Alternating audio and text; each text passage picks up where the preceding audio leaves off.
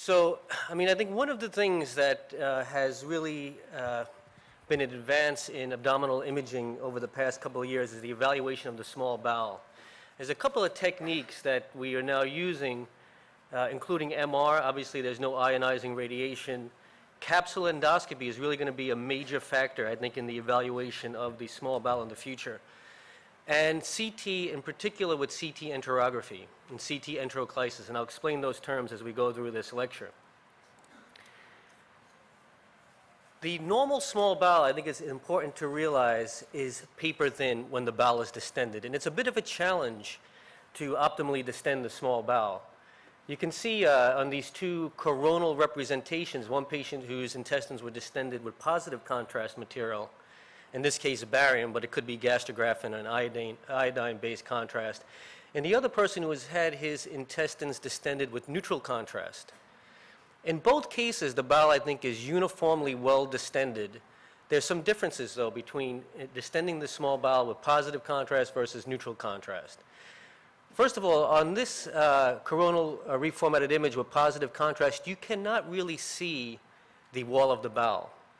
Because it's paper thin, it's just not visualized.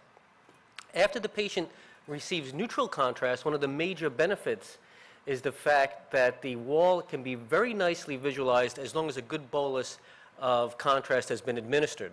In fact, if you look at the proximal jejunal loops, you'll notice, again, the wall is paper thin, about a millimeter. You can see the valvulae conniventes, which is really a classic signature of the proximal small bowel, the jejunum, multiple small bowel folds, similar as you would see on a small bowel series. More distally, in the ileum, that fold pattern is not there.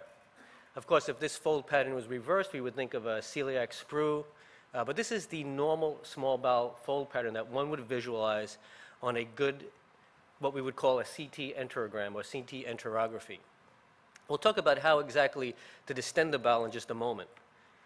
Now this is again just an axial image of a different patient who has an aneurysm, but again, when the bowel is well distended, as you see here, the wall is paper thin, about a millimeter, you can see multiple enhancing valvulae conniventes. In the normal small bowel, the wall obviously enhances. It's a vascular organ. Distally, again, in the ileum, we see the wall as being one millimeter uh, in thickness, and again, the uh, lack of folds compared to the proximal small bowel, normal small bowel. Now, if we contrast uh, some of the differences that one would see in pathologic conditions if the bowel was distended with positive versus neutral contrast, there's some things that I think are important to recognize. Both of this is the same patient. One examination performed with positive contrast, the other with neutral contrast. And while the bowel is not totally optimally distended, and sometimes it's a bit of a challenge to do that, actually in both cases, if we concentrate on this segmental abnormality, again, a patient with a segmental Crohn's disease, and compare the exam with positive versus neutral contrast, notice that you cannot really or, or, or fully appreciate the enhancement pattern when the patient receives positive contrast. The mucosa is obscured, and we really cannot appreciate the fact that if we look over here, that there is a target or a double halo appearance to the enhancement pattern in the small bowel. And this enhancement pattern, recognizing the fact that you do have a target appearance or hyperemia in the mucosa, suggests an inflammatory condition. You know, again, if we look at this uh, exam with positive contrast, one could consider a chronic inflammatory condition, chronic Crohn's disease, or maybe even intestinal lymphoma. But the fact that we see the enhancement pattern really tells us that there's an inflammatory condition occurring in this patient. And without neutral contrast distending the bowel, that enhancement pattern is particularly difficult to see. Obviously, as uh, Dr. Birnbaum pointed out earlier, always look for the associated findings. In this patient, we can see uh, a proliferation of the fat and prominent vasa recta in the mesentery. And this is just another example, a case from just the other day, and it really points out some of the differences that one can appreciate if the bowel is distended with positive versus neutral contrast. This is a person who has an adhesive small bowel obstruction. These are just coronal reformats, but the patient was given positive contrast to drink, which, by the way, is really not necessary in, in the setting of a small bowel obstruction. The fluid in the bowel acts as its own contrast. But again, if you look at the proximal small bowel, it is, it's filled with dense fluid from the contrast. You cannot really appreciate the wall, yet more distally, again, you can see the wall being about a millimeter. And again, the depiction of the wall and the enhancement pattern in the wall is a very important finding and is better appreciated when neutral contrast is used.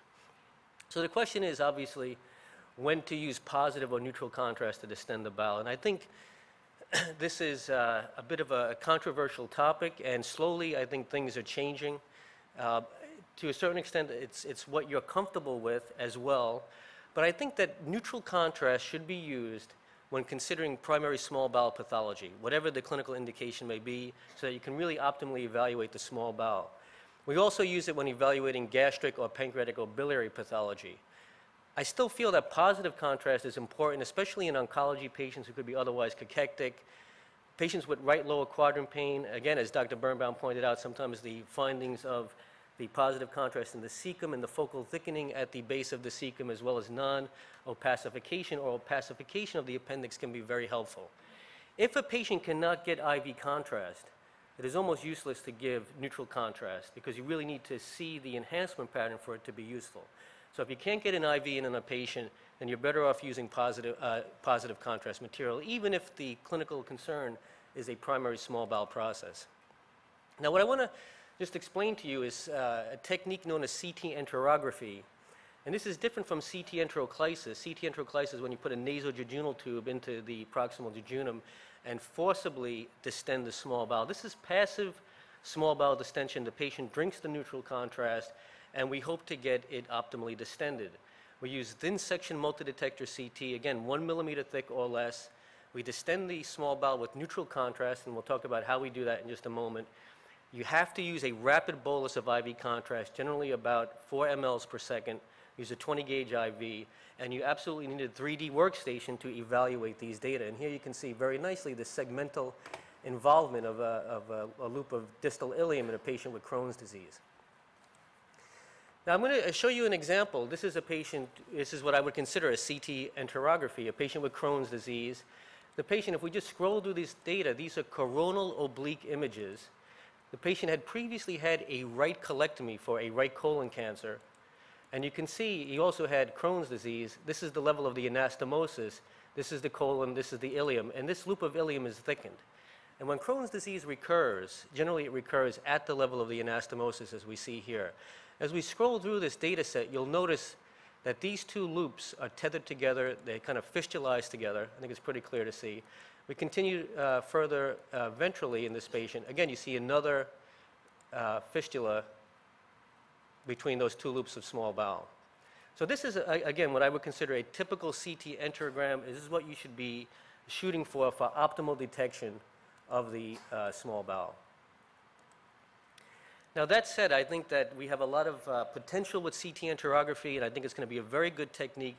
But as I pointed out in the beginning, that there are other uh, techniques that we can use to evaluate the small bowel, and depending on what the clinical indications are, we really need to optimize our imaging paradigm. This is a patient who has obscure GI bleeding. We did a CT enterography, we could not see anything. The next week, the patient had a capsule endoscopy, and you'll notice that there's a small telangiectasia or angiodysplasia, and in fact, it's bleeding a little bit. There's a blush of, of blood that we see. This is just simply not visible on a CT enterogram. Similarly, the very early changes of Crohn's disease, these little mucosal ulcerations, are much better appreciated on capsule endoscopy than on CT enterography. But I think that the combination of CT enterography and capsule endoscopy are really going to revolutionize our ability to evaluate the small bowel. Let's face it, how many small bowel series do you guys do in your clinical practice? How often do they actually show any pathology? I can almost just dictate the case without ever looking at it as, you know, as a normal small bowel. But I think that we do have some opportunities to really better investigate uh, the small bowel. Now, the question is, what do you use to distend the small bowel? And when you're using neutral contrast for CT enterography. Well, obviously, the cheapest and perhaps easiest thing to do is to use water. The problem with water is that it gets absorbed in the small bowel, and generally, distally, you can have very poor distension. You can mix the water with a number of different agents, uh, mannitol, bulk fibers, such as metamucil, uh, locust bean gum, which, honestly, I, it's some sort of root of a plant that's used in Europe. We don't use this here. It kind of sounds strange, uh, but has been reported on. Polyethylene glycol, or GoLYTELY, that's stuff that uh, some gastroenterologists use to clean out the colon prior to a colonoscopy, has been recommended. And then There's a commercially available product, and I don't want this to be a commercial bias, but it's called Volumen. And in fact, I can tell you that at the um, RSNA this year, there was a whole session devoted on small bowel, looking at neutral contrast agents. And this is a very popular agent when specifically looking to do CT enterography. In fact, a colleague of mine, uh, Alec Megibow, as, as well as Liz Hecht, presented a paper last year at the RSNA on this, comparing it to water, showing that it caused significantly better bowel distension. And this is actually in press now in radiology. So I think that this stuff, volumen, uh, works. There are some issues with it. Some patients have uh, diarrhea when it's used in the volumes that it's recommended. In addition, it's not cheap. It's, it's about three times as expensive as barium. And I, you know, again, I would caution you to use these agents when they're really appropriate and not to indiscriminately use them. A couple of years ago, when I was at the RSNA, before this Volumen product was available, uh, a friend of mine from Rome was telling me that he uses polyethylene glycol, that is, GoLYTELY to distend the small bowel. And this is a patient who had obscure GI bleeding, not seen by the upper or lower endoscopy, and the surgeon was going to take this 80-year-old woman to surgery to do a small bowel, uh, uh, basically to run the small bowel to see if there's any pathology there. I told him, well, let's try to do this uh, CT enterography. I said, well, we can use the GoLYTELY and give it a shot. So I told the, the recommendation is to use a single liter and scan 45 minutes later. The woman was an inpatient in the hospital. She wound up getting two liters on the floor by the nurse. She got lost in the elevator on the transport down. Two hours later, she got onto the CT table. Massive diarrhea all over the place. Suffice it to say, we've never used GoLYTELY again. But even though it's a suboptimal study in an older patient, I think if we really look closely, we can all appreciate these multiple dense lesions, presumably enhancing lesions in the small bowel. In fact, on the coronal reformatted image, again, it's not an optimal study. The bowel distension is not great, but one, two, three, four, five hypervascular lesions on that one coronal uh, image. Now, if you ever see multiple hypervascular lesions in the small bowel, I think your number one diagnosis has to be carcinoids. They're frequently multiple, they're frequently hypervascular.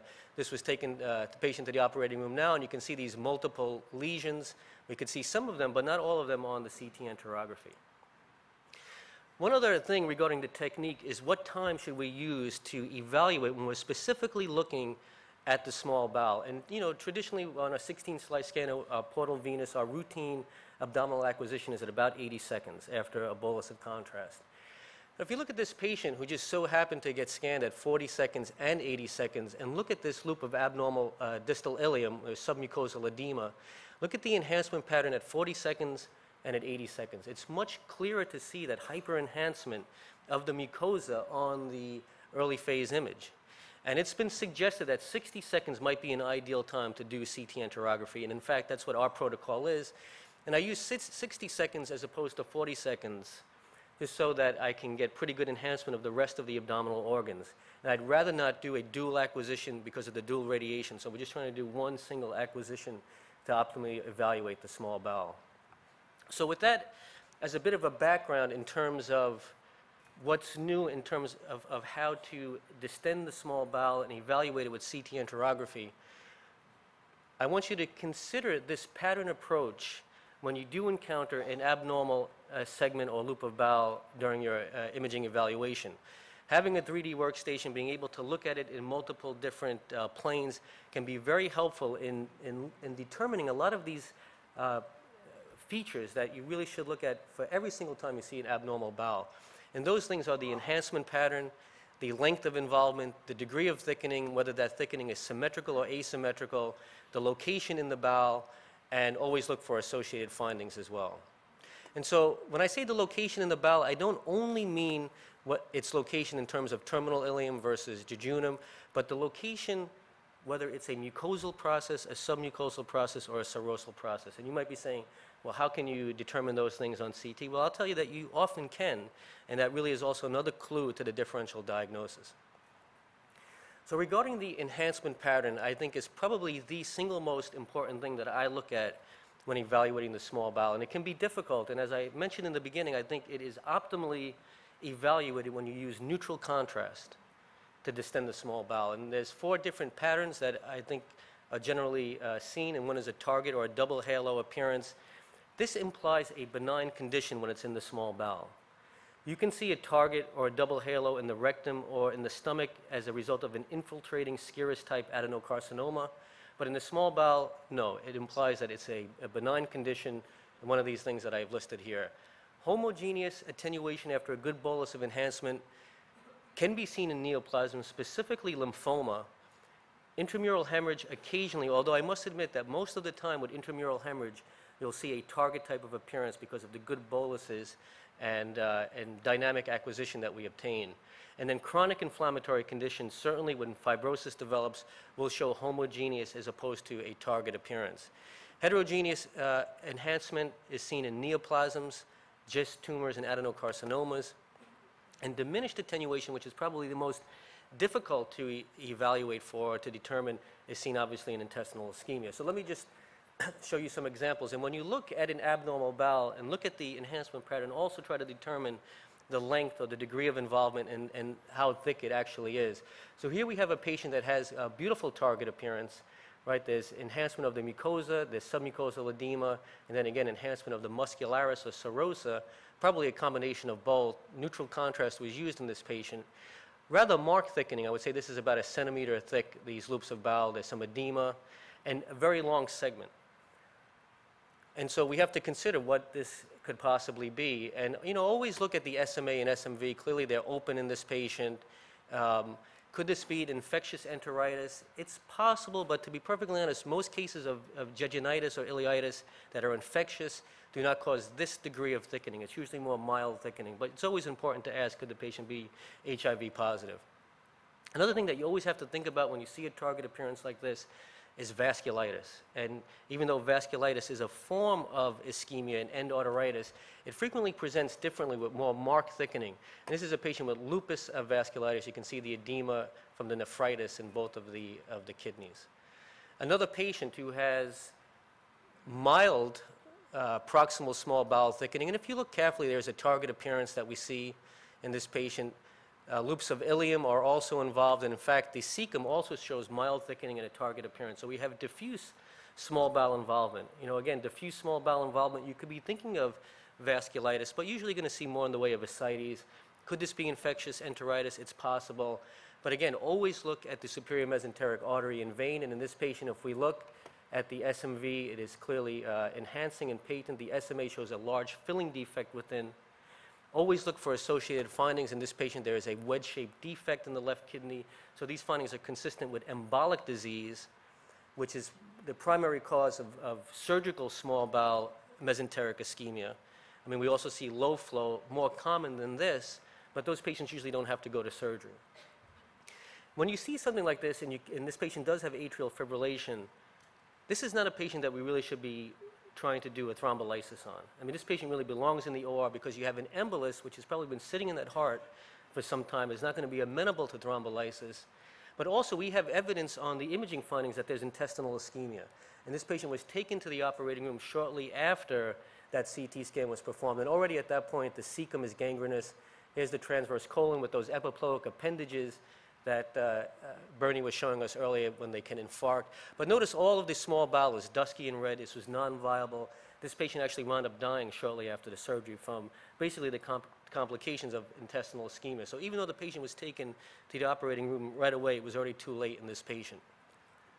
By the way, look at the size of this surgeon's hand. You don't want this guy doing any delicate work uh, on you.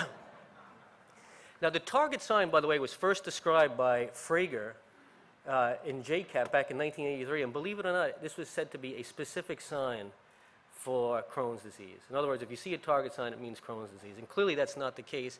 Any kind of edema, inflammation, ischemia, uh, even intramural hemorrhage can cause this. So just be careful. But Crohn's disease, you know, as was pointed out, will frequently cause segmental involvement. You can see skip areas, proliferation of fat, and the prominent recta. Now, if we look at this other patient who also has Crohn's disease, and we do see a target appearance. There's a difference in this target versus this target, right? Here we have edema in the submucosa, and here we have very low attenuation. This is submucosal fat deposition. And this has always been thought to be a sequela of chronic inflammation of Crohn's disease. And in fact, it probably is the case in this patient. This patient was asymptomatic. But uh, it's been my experience that if you see submucosal fat, whether it's in the colon or the, or the ileum, or in the stomach for that matter, it's usually a normal variant. And there was a paper published in AJR back in 2003 which confirmed that finding that the vast majority of times that you see submucosal fat deposition in the small bowel, the patient has no history of chronic inflammatory disease. Now, this is homogeneous attenuation. After a bolus of contrast, you can see the arteries are well enhanced. Mark thickening, segmental in distribution. Really, this could only be one thing, and this is ileal lymphoma. Homogeneous attenuation. Occasionally, intramural hemorrhage can cause this degree of thickening, but usually going to see a lot more hemorrhage in the adjacent uh, peritoneal cavity as a result of it leaking across the serosa. Now here's a, a person who has a target appearance, and if we look at this segmentally involved uh, loop, this is a submucosal process. And I want you to just take a look at this for a second, because this is showing that the thickening is due to some sort of substance in the submucosa. You know, if you, you could imagine if you did a small bowel series in this patient, that you would see that stack of coins appearance. Whenever you see this in an older patient, I mean, one thing that you always have to think about is could this be intramural hemorrhage? Is the patient on Coumadin? Is the INR elevated? And in fact, this patient is on Coumadin. The INR is 5. And these findings, the patient presents with acute abdominal pain is related to intramural hemorrhage. If you do a small bowel series on somebody like this, you will see similar findings. That is segmental distribution. You can see the submucosal process. The mucosa is entirely normal. It is not disrupted. This is a fluid, or in this case, hemorrhage, filling that submucosal space. Heterogeneous enhancement, as we see here, is due to neoplasms. I thought this was going to be a gastrointestinal stromal tumor that ulcerated. In fact, this was resected and turns out to be an adenocarcinoma. A little bit unusual to have such a large adenocarcinoma, but you see something like this, I don't think there's any question that it's most likely going to be a neoplasm and usually a GIST or possibly an adenocarcinoma. Now, the fourth and final enhancement pattern we see here, this is uh, uh, you know, imaging findings that I think a colleague of mine, Dr. Balthazar, pointed out many years ago are classic for a closed loop small bowel obstruction. That is, you see a radial array of multiple loops of small bowel, the mesenteric vessels all converging to a point. When you look on the scan, you'll notice that this is the afferent and the efferent limbs subtending that closed loop. What's important to realize when you look at this is that these two loops that are not in the closed loop are enhancing normally. The loops that are in the closed loop show diminished or decreased enhancement. This is a specific sign for intestinal ischemia. This patient absolutely needs to be in the operating room. Obviously, the finding of blood and edema in the mesentery is another important finding for intestinal ischemia. And this patient was taken to the operating room, and you can see all this dead gut. There's the adhesive band, and you can see the afferent and the efferent limbs that were going into that particular closed loop. All this had to be resected. It was dead. The length of involvement is also very important. And you know, this is all also in the syllabus that you have on the CD, but focal, segmental, and diffuse diseases, as you can see here, generally are different processes. If you have diffuse disease, it's a benign process. Segmental disease is usually also benign, although occasionally lymphoma can be uh, a benign process. If you have focal disease, consider some, some of these things that I've listed, tuberculosis, endometriosis, rare entities, but occasionally you will want to put them in your differential diagnosis. Let me just show you some examples. Here's a patient uh, who has an abnormal segment of jejunum, focal involvement. When I say focal, I mean three to five uh, centimeters. You'll notice that there is an area of thickening, and then there is this kind of collection with some fecal-like material, a lot of stranding of the fat around this area. So there's a differential diagnosis of something like this. I think that there's a bowel perforation here. The question is, is it a foreign body perforation? Could it be a, a jejunal neoplasm that perforated? But don't forget that diverticula don't only occur in the colon, don't only occur in the sigmoid and the ascending colon, but do occur in the small bowel. These imaging features to me are most consistent with jejunal diverticulitis. The patient was taken to the operating room. That segment of jejunum was resected. Here you can see on the serosal level the perforated diverticulum, and on the luminal side the entrance into that diverticulum. Whether it's in the jejunum, the ileum, or the duodenum, diverticula can occur, and just keep that in your differential diagnosis. This we see not infrequently, uh, perforations due to fish bones, these very linear dense things, in this case going through the duodenum and into the pancreas, you know, really stabbed right through there. These are very classic for fishbone perforation. Uh, they did an endoscopy in this patient to try to extract it, but they couldn't see because it had burrowed into the musculature of the duodenum. Finally, they had to take the patient to the operating room and pull this out. And I am told that this turned out to be a gefilte fishbone. Don't ask me how, but just be careful uh, whatever you're eating. Another patient uh, who has, again, multiple loops of small bowel distended. This is on a four-slice scanner, nothing uh, special about this. Wall is nice and normal. But notice over here, the wall is, is normal. We come down, there is a focal area of abnormal thickening, irregularity, homogeneous attenuation. What is this? Could it be an adenocarcinoma? Could it be a lymphoma or a chronic inflammatory condition? I'm not entirely sure, but I was leaning towards carcinoma. Uh, the guy had an obstruction, as you can see, and he was taken to the operating room, and it was resected. And you can see this is this. And you know, I was looking at this. I could probably tell you this is an adenocarcinoma, and you'd believe me. But in fact, this turns out to be a focal amyloidoma in the small bowel. So, you know, we have all these rules. We try to narrow the differential diagnosis down, but there's always something out there that's going to, you know, cause us some trouble. But just keep in mind that there's a lot of things that can affect the small bowel. Another patient on the CT enterography, this guy has abdominal pain.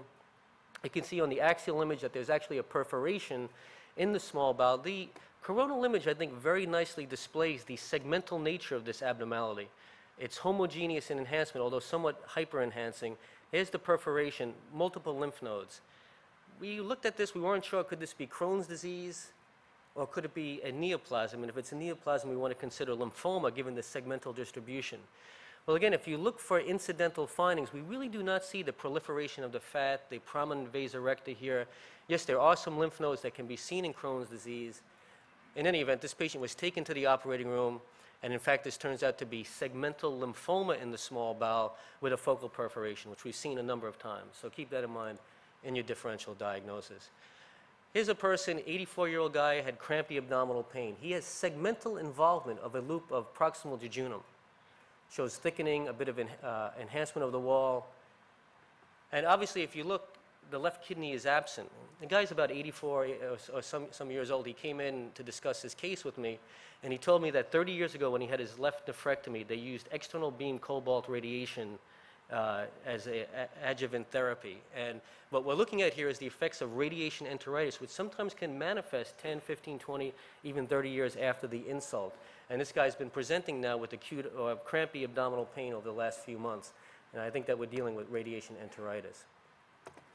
Another patient who now presents uh, with pancreatitis, we do a CT scan. It shows really the pancreas looked okay. There's a little bit of fluid in the anterior pararenal space, so very mild pancreatitis. But if we look down in the uh, distal small bowel, here's the terminal ileum, and we just scroll through this, actually a very long segment of mildly thickened uh, small bowel extending all the way maybe 30, 40 centimeters. And again, if we look at this one image, this shows us that the abnormality is in the submucosa. Submucosal edema, you can see the contrast again. This is very typical of the appearance that we would see in a patient who has edema from whatever cause. Interestingly, this patient was recently put on an ACE inhibitor, which is known to cause pancreatitis, is a medication that can cause pancreatitis, and is an agent that can cause angioedema. And angioedema is a non-inflammatory condition where you really get capillary permeability. You can see it in the bowel. It can present as an acute abdomen. And uh, there's obviously some clinical serum tests that one can do to help confirm that diagnosis.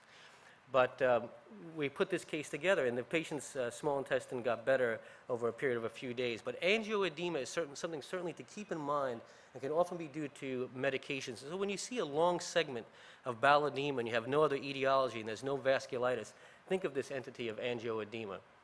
The degree of thickening is also important. In general, if you have very marked thickening, you're dealing with neoplasms, hemorrhage, or vasculitis.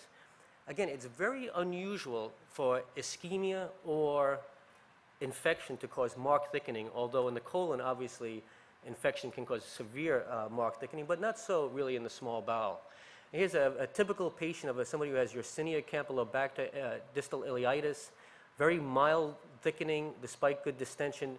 As was pointed out uh, uh, earlier, a cluster of lymph nodes in the right lower quadrant. These are reactive lymph nodes from the mesenteric adenitis via, uh, from the infectious enteritis. We put all these things together.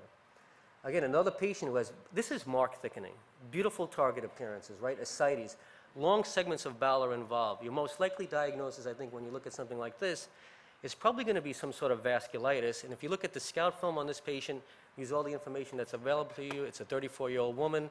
The left hip has already been replaced from AVN, from the lupus and the steroids that she's been taking segmental involvement, marked thickening, homogeneous attenuation.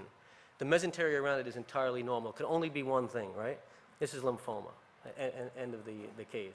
Another person who sustained trauma, all right, this looks very much like that lymphoma, very marked thickening, but notice all the, you know, the edema and hemorrhage in the adjacent mesentery. Uh, and of course, if you put a region of interest cursor on it, 56 Hounsfield units. Intramural hematoma can present very similar to uh, lymphoma. Symmetrical or asymmetrical thickening, this is, uh, you, you think about that, but asymmetrical thickening you generally see in neoplasms, occasionally in patients with Crohn's disease. Symmetrical thickening is a benign process. Finally, the location in the wall, you know, I, I showed you some examples, mucosal, submucosal, and serosal disease. This is what we need to look for. A patient who clearly has, I think, no question, submucosal process. I hope that you can all see this. This edema in the submucosa, the mucosa is entirely normal. Here's the small bowel series, again showing that thumbprinting appearance of a patient with intramural hemorrhage. And if you look at a pathologic specimen, this is not the same patient, but again, showing the hemorrhage in here, showing as it goes through the folds and its location uh, absolutely in the submucosa. Another patient who has bowel wall thickening in the terminal ileum, but this is not submucosal disease. I mean, there is a submucosal component, but the mucosa is entirely ulcerated. All right, so we're thinking terminal ileum. These findings are consistent with Crohn's disease, as you can see on the small bowel series, as well as on the coronal reformatted image showing the ulcerations. And finally, a patient who I think unequivocally on both the coronal MR and the coronal CT shows serosal disease, spiculation and tethering into this mesenteric mass on the CT, which shows calcifications on the MR, which is just low signal intensity, a patient with a mesenteric carcinoid causing that desmoplastic reaction. And on the small bowel series in this patient, you see the same findings. The masses in the mesentery causing that tethering and spiculation. Always look, as I pointed out throughout this entire lecture, for the associated findings. So in conclusion, I want to uh, make you think if you have a case of a person who has a primary small bowel process to use those techniques to optimize your small bowel distension, so-called CT enterography. I think in the vast majority of cases, you do not need to do CT enteroclysis. While a pattern approach is helpful, obviously findings can overlap and there's always a differential diagnosis. So look for those associated findings in the clinical history and you can really often narrow your differential diagnosis way down. Thanks a lot.